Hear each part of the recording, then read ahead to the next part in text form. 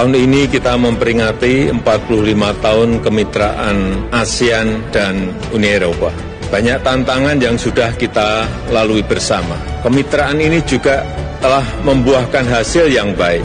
Namun demikian, saya harus mengatakan bahwa kemitraan kita tidak semuanya baik-baik saja. Banyak perbedaan yang harus kita selesaikan. Oleh sebab itu, jika ingin kita membangun sebuah kemitraan yang lebih baik, maka kemitraan harus didasarkan pada kesetaraan.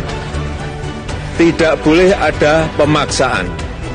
Tidak boleh lagi ada pihak yang selalu mendikte dan beranggapan bahwa my standard is better than yours.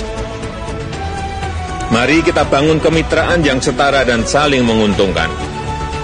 Dari pandemi dan krisis multidimensi yang kita hadapi saat ini, kita petik pelajaran penting bahwa to grow and to prosper together is the only option. Kita tidak hanya harus maju bersama, namun juga harus maju setara. Let us shape a better future together. Terima kasih.